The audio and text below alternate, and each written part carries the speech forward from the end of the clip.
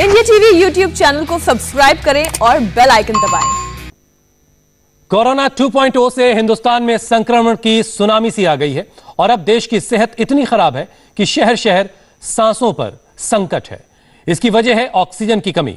ज़बरदस्त किल्लत है, लोग बेबस लाचार हैं, लोग बदहवासी में यहाँ से वहाँ ऑक्सीजन की तलाश में भाग रहे हैं। अस्पताल से लेकर ऑक्सीजन के प्लांट तक लंबी लंबी कतारें हैं। ऐसे में ऑक्सीजन की ज़रूरत और उसके इस्तेमाल को लेकर अब लोगों के मन में बहुत से सवाल हैं। ऑक्सीजन मजबूरी है, लेकिन उसे लेकर लोगों के मन में जो डर है या जो सवाल हैं, उनके जवाब मिलना बहुत ज़रूरी है और भ्रम और डर को खत्म करना भी बहुत ज़रूरी है। इसीलिए आज हमारे साथ देश के बड़े बड़े डॉक्टर्स जुड़े हैं, जो आपके ऑक्सीजन से जुड़े हर एक सवाल का जवाब देंगे। हमारे साथ शुभ्रादीप कर्माकर हैं, एसोसिएट प्रोफेसर एम्स से। हमारे साथ तुषार मनियार हैं, हेड चाइल्ड डिपार्टमेंट, नानावती अस्पताल। इसके अलावा doctor Shuchin Bajaj, founder director Ujala Cygnus अस्पताल दिल्ली। सर, आप सबका बहुत बहुत स्वागत है। सबसे पहले, ऑक्सीजन सिलेंडर की ज़रूरत कब पड़ती है? डॉक्टर शुभ्रादीप कर्माकर साहब, आप बताइए कि सबसे पहले जब पेशेंट आपके पास जाता है तो उसको ऑक्सीजन की ज़रूरत कब पड़ती है? देखिए ऑक्सीजन, ये जो ऑक्सीजन ऑक्सीजन की जो रिक्वायरमेंट है पैनिक मोड भी चल रहा है। Only about 7 to 10 percentage of patients acute वरना ऐसा नहीं है जो हर एक कोविड पेशेंट के लिए ऑक्सीजन ज़रूरी है तो ये गलतफहमी के लिए ही एक बड़ा सा जो आर्टिफिशियल क्राइसिस हो रहा है जो ऑक्सीजन मिलना ज़रूरी है। हाँ ज़रूरी है इस इस पर्टिकुलर कोविड जो फ़ेज़ टू जो कोविड है, इसमें ऑक्सीजन की रिक्वायरमेंट्स है but that is only for about five seven to ten percent of the patients के लिए। अगर ऑक्सीजन सेचुरेशन हमारे टारगेट में अगर 92 टू नाइन्टी सिक्स परसेंट अगर पी सीओ टू का सेचुरेशन हो जाए तो दैट विल बी सफिशियंट उससे उससे ज़्यादा सेचुरेशन ना भी होने से भी चल जाएगा। लेकिन अगर उससे नीचे सेचुरेशन आ गया तो then oxygen therapy is a very good alternative जो अभी काफ़ी यहाँ पे ऑक्सीजन को लेकर हो रही है तो इस बात का वेरी क्लियर हो जाना चाहिए कि सबको ऑक्सीजन की एक्यूट रिक्वायरमेंट नहीं है only about ten percent of the patients के है। डॉक्टर तुषार आप जरा समझाइए कि ऑक्सीजन सिलेंडर बहुत सारे लोग अपने घरों में रख रहे हैं। इसकी कितनी ज़रूरत है? So, पहले मैं क्लियर करना चाहता हूँ कि मैं बच्चों का डॉक्टर हूँ और मुझे एडल्ट मेडिकेशन और ट्रीटमेंट का ज़्यादा अनुभव नहीं है। सो so, घर में ऑक्सीजन रखना बिल्कुल भी ज़रूरी नहीं है अनलेस आपको कोई क्रॉनिक जो पुरानी बीमारी है लंग्स की वगैरह उनके लिए आप रख रहे हो तो अच्छी अच्छी बात है। अदरवाइज़ घर में ऑक्सीजन रखने से कोई फ़ायदा नहीं होता क्योंकि जो पेशेंट को ऑक्सीजन की ज़रूरत रहती है उसको ऑक्सीजन के साथ साथ हॉस्पिटल की ट्रीटमेंट और मॉनिटरिंग की ज़्यादा ज़रूरत रहती है और जितना हो सके जल्दी उनको हॉस्पिटल में एडमिट करवा के आगे ट्रीटमेंट करनी चाहिए। डॉक्टर तुषार, चूँकि आप हेड ऑफ़ चाइल्ड डिपार्टमेंट है नानावती अस्पताल में, आप जरा बताइए कि फ़र्स्ट वेव में हमने देखा कि बच्चे कोरोना की शिकार बहुत कम हो रहे थे। इस बार बच्चों में कितने केसेस आपको देखने को मिल रहे हैं और वो कितने क्रिटिकल हैं? क्या वो आसानी से क्योर हो जा रहे हैं या उसमें भी कुछ आपको गंभीर केसेस देखने को मिल रहे हैं? या, शुक्रिया। जैसे बड़ों में पहले वेव के कंपैरिजन में चार गुना या चार से पाँच गुना ज़्यादा नंबर्स आ रहे हैं, उसी तरह बच्चों में भी चार से पाँच गुना ज़्यादा नंबर्स आ रहे हैं। ये टाइम बच्चों के केसेस के नंबर ज़्यादा है, फिर भी क्रिटिकल केसेस और हॉस्पिटलाइजेशन ज़्यादा नहीं है। उसकी परसेंटेज पहले से शायद थोड़ी सी ज़्यादा हो सकती है, मगर ज़्यादा कर बच्चे 95 टू 98 परसेंट बच्चों को ब्लड टेस्ट या सीटी स्कैन की ज़रूरत भी नहीं पड़ती है। उनको सिर्फ़ विटामिन डी पैरासीटामॉल या फीवर कंट्रोल करने से दो या तीन दिन में उनका कंट्रोल हो जाता है। अगर वो बच्चों को या। ये बहुत अच्छी बात है कि बच्चे ज़्यादा बेहतर लड़ाई लड़ रहे हैं कोरोना से बड़ों के मुकाबले। डॉक्टर शुचिन घर पर हम अक्सर देख रहे हैं कि लोग ऑक्सीमीटर से पल्सी ऑक्सीमीटर से अपना ऑक्सीजन लेवल लगातार चेक कर रहे हैं। किसी भी एक शख्स को कितनी कितनी देर के बाद ऑक्सीजन लेवल चेक करने की ज़रूरत होती है? देखिए हुसैन कोरोना में ऑक्सीजन लेवल बहुत इंपॉर्टेंट पैरामीटर है जो हमने सीखा है पिछले साल में कि जिन जिन के ऑक्सीजन लेवल कम जा रहे हैं उनको ज़्यादा ज़रूरत है हॉस्पिटल्स की आईसीयूज की वो ज़्यादा डिटेरेट होते हैं। तो बहुत ज़रूरी है कि रोज़ सुबह उठ के हम ज़रूर चेक करें और सुबह एक बार सिक्स मिनट वॉक टेस्ट के बाद ज़रूर करें। अगर आपका ऑक्सीजन सुबह जैसे 95, 96 भी है तो कई लोग उससे रिलैक्स रहते हैं रेस्ट की हमें कोई ज़्यादा काम नहीं, कोई प्रॉब्लम नहीं है, लेकिन उसके बाद ज़रूर अपनी एज के मुताबिक या तो अगर आप बहुत यंग हैं तो छः मिनट का स्पॉट जॉगिंग करें। अगर आप बूढ़े हैं या आपको आदत नहीं है एक्सरसाइज की तो छः मिनट का घर में ही वॉक करें। अगर ये करने के बाद आपका ऑक्सीजन चार पॉइंट से ज़्यादा गिर जाता है तो बहुत ज़रूरी है कि आप ध्यान रखें, अपने डॉक्टर से बात करते रहें, क्योंकि ये एक इंडिकेशन है अर्ली इंडिकेशन कि आपको आगे जाकर ऑक्सीजन बेड की ज़रूरत पड़ सकती है। दूसरा दिन में कम से कम दो बार चेक करें, सुबह और शाम दोनों टाइम और अगर बॉर्डर लाइन है, जैसे 95 से नीचे चला गया है, कल अगर 97 था, आज 94 है तो हर छः छः घंटे में चेक करें। 92 से नीचे जाते ही ऑक्सीजन का इंतज़ाम करने की कोशिश करें या डॉक्टर से बात करें आपके लिए बेड अरेंज करने की। और अगर 80s में है 90 से नीचे है तो बिना किसी से बात किए आप ऑक्सीजन सप्लीमेंटेशन लें या तो घर पर ही या फिर अपने हॉस्पिटल में जाकर जहाँ भी आपका बेड अवेलेबल हो। घबराएँ नहीं, ऑक्सीजन थेरेपी से यूजुअली ये रिकवर हो जाते हैं। बहुत ज़्यादा प्रॉब्लम नहीं आती है अनटिल एंड अनलेस बहुत गिर जाए या बहुत देर तक ऑक्सीजन की डेफिशिएंसी आपको ना रहे।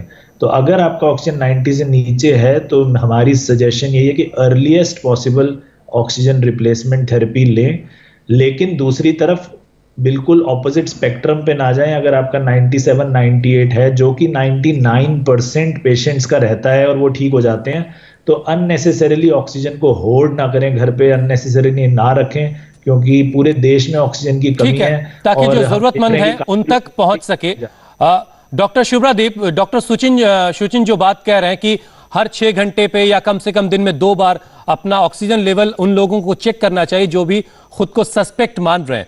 लेकिन मान लीजिए कि मैं अपना ऑक्सीजन लेवल अभी चेक करूँ और उसके क्या दस मिनट बाद, पाँच मिनट बाद या आधे घंटे बाद मेरा ऑक्सीजन लेवल एकदम से गिर सकता है? ऐसा भी मुमकिन है? नहीं, ऐसा तो मुमकिन नहीं है। अगर कोई अंडरलाइन कोई कॉम्प्लिकेशन नहीं है तो ऐसा अचानक ऑक्सीजन ड्रॉप होना नहीं चाहिए और ये अनयूजल है। तो जैसा पहले डॉक्टर साहब ने अभी कहा है कि दिन में अगर आप दो तीन बार भी अगर चेक कर लो अगर सुबह दो बार दोपहर को दो बार और रात को अगर एक बार सोने के पहले तो दैट शुड बी सफिशियंट अचानक ड्रॉप होने की संभावना काफ़ी कम होती है। ये बड़ा रिमोट पॉसिबिलिटी है। तो जिनके भी ऑक्सीजन लेवल 90 से ऊपर है उनको बहुत परेशान होने की ज़रूरत नहीं उनको ऑक्सीजन के सिलेंडर्स के पीछे भागने की ज़रूरत नहीं है। मैं ठीक कह रहा हूँ? हाँ जी। अब एक और सवाल हॉस्पिटल में अचानक ऑक्सीजन की कमी आखिर क्यों हो गई है? डॉक्टर तुषार अगर आप बताना चाहें हालाँकि आप चाइल्ड स्पेशलिस्ट हैं। ये अचानक हर तरफ़ से खबरें आ रही हैं कि ऑक्सीजन की कमी हो गई ऑक्सीजन की कमी हो गई। आखिर ये कैसे ये मुमकिन हो पा रहा है? ऑक्सीजन इसका इंतज़ाम ऑक्सीजन का इंतज़ाम अस्पताल ठीक से मैनेज क्यों नहीं कर पाए? डिमांड और सप्लाई के बीच इतना बड़ा गैप कैसे बन गया? जी, क्योंकि ये अनप्रेसिडेंटेड डिमांड है और जो डिमांड हो रही है, वो बहुत ज़्यादा दिन तक हर एक पेशेंट को लग रहा है। उसी वजह से एक साथ सारे जगह पे डिमांड हो गई है, इसीलिए सप्लाई का प्रॉब्लम हो रहा है, ये मेरा मानना है। I am not an expert again on this but this is ये हमारे, मेरे हिसाब से यही एक कारण है। डॉक्टर शुचिन ये बात कोरोना हम पिछले एक साल से देख रहे हैं। कोविड 19 है 2019 में आया, फिर 2020 हमने पूरा इसको देखा।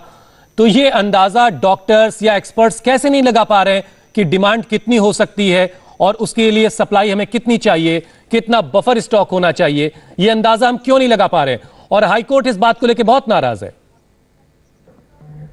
देखिए हुसैन मेरे ख्याल से डॉक्टर्स और मेडिकल कम्युनिटी, रिसर्चर्स सबने बहुत एम्फोसिस के साथ पिछले नवंबर, दिसंबर में बताया था कि हम लोगों को सेकेंड वेव के लिए तैयार रहना चाहिए, क्योंकि पिछली सदी में भी जो सेकेंड वेव आई थी स्पेनिश फ्लू की, वो बहुत ज़्यादा पहली वेव के मुकाबले वाइड स्प्रेड थी बहुत ज़्यादा डेडली थी और हमें एक्चुअली तीन से चार महीने का एक वार्निंग भी मिला था क्योंकि हम यूरोप में देख रहे थे यूके में देख रहे थे यूएस में देख रहे थे कि सेकेंड वेव कितनी मैसिव उनको तंग कर रही है कितनी प्रॉब्लम्स क्रिएट कर रही है। तो ये सारी चीज़ें मेरे ख्याल से फ्लैग्ड थी। आ, लेकिन मुझे लगता है कम्युनिटी ले लीजिए या गवर्नमेंट ले लीजिए सबको एक premature declaration of victory का एक जज्बा लग गया कि हमने कोरोना को हरा दिया है। पूरे वर्ल्ड में चर्चा शुरू हुई कि इंडिया ने कितनी अच्छी तरह मैनेज किया। डब्ल्यूएचओ ने पेपर लिखा कि इंडिया ने जो मैनेज किया है वो इंडिया की मास्क पॉलिसी और गवर्नमेंट की डायरेक्शन की वजह से है। जबकि हम लोग सेमी अर्बन रूरल एरियाज़ में काम करते हैं, हमारे हॉस्पिटल्स छोटे छोटे शहरों में हम वहाँ क्लियरली देख रहे थे कि कोई मास्किंग नहीं है nobody serious about mask कोई सोशल डिस्टेंसिंग नहीं है। सारी political activities religious activities as natural लेकिन वो वो एक अलग की बात है। ऑक्सीजन को लेकर के जो प्लानिंग है जो फॉरवर्ड प्लानिंग होनी चाहिए थी वहाँ पर ज़रूर चूक दिखाई देती है। डॉक्टर शुभ्रादीप एक चीज़ और समझाइए कि कोविड पेशेंट घर पर अगर है तो उसे अस्पताल ले जाने की ज़रूरत कब पड़ती है और कब उसे ले जाकर भर्ती करवाना चाहिए? जैसा अभी ये इस इसी बात पे अभी चर्चा हुआ है जो पहले डॉक्टर साहब भी जो कह रहे थे अगर ऑक्सीजन सैचुरेशन 92 या उससे नीचे अगर प्रोग्रेसिवली कम होना स्टार्ट हो गया तो वी शुड बी कॉशियस जे इस पेशेंट्स को जल्द से जल्द हॉस्पिटल में या कोई कंसल्टेंट के साथ यू नो उसके साथ कंसल्टेशन ज़रूरी है, क्योंकि ये डिटोरेट हो सकता है। हालाँकि आपको पता है जी, इन दिनों कर्फ्यू चल रहा है तो ट्रांसपोर्टेशन वगैरह भी इशू है logistically it is difficult to manage और हॉस्पिटल्स के सारे beds almost are taken up तो बेड्स की भी काफ़ी डिमांड्स चल रही है। इसीलिए ये इट्स वेरी इंपॉर्टेंट जो अगर ऑक्सीजन सैचुरेशन 92 के नीचे आ गया और अगर कोई सीओपीडी पेशेंट्स है उनके उनके लिए हमें specifically we should be very careful क्योंकि ऐसा ही उनका रेस्पिरेटरी इश्यूज़ होते हैं। तो अगर सैचुरेशन कम होता है 92 के अगर लगातार कम हो रहा है प्रोग्रेसिवली कम हो रहा है तो that is an red flag और तुरंत हमें कोई कंसल्टेंट या हॉस्पिटल में जाना चाहिए और पेशेंट को डॉक्टर के साथ सही तरह से इलाज करा के ऑक्सीजन थेरेपी अगर चाहिए होगा। जैसे oxygen therapy is not alone उसके साथ और भी मेडिकेशन चाहिए होते हैं। सो so, प्रॉपर जो पैकेज होता है वो जल्द से जल्द कराना इज़ वेरी इंपॉर्टेंट ताकि पेशेंट का लाइफ पे ज़्यादा रिस्क ना हो जाए। बहुत बहुत शुक्रिया डॉक्टर शुभ्रादीप डॉक्टर तुषार और डॉक्टर शुचिन। हम उम्मीद करते हैं कि आप लोगों ने जो बातें बताई हैं, उससे ऑक्सीजन को लेकर के जो भ्रम, जो सवाल लोगों के जहन में होंगे, उनके जवाब लोगों को ज़रूर मिल गए होंगे और थोड़ा पैनिक बेस से ज़रूर कम होगा। बहुत बहुत शुक्रिया हमारे साथ जुड़ने के लिए। दिल्ली पुलिस की मुस्तैदी से मैक्स हॉस्पिटल में बीती रात कैसे चला एक बड़ा हादसा, आपको बताएँगे एक ब्रेक के बाद।